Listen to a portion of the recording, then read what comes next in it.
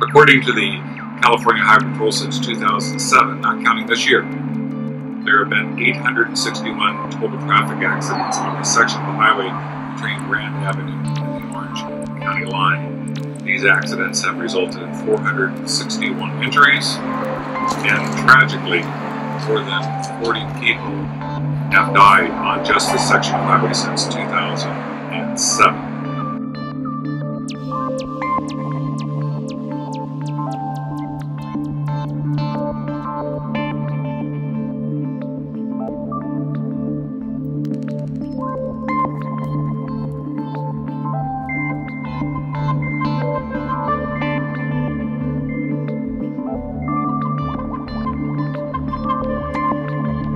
This is an effort to try to get everyone to understand this is this is not an easy road to travel. You're putting everyone's lives at risk if you're traveling in a way that's unsafe. And we're asking you to slow down.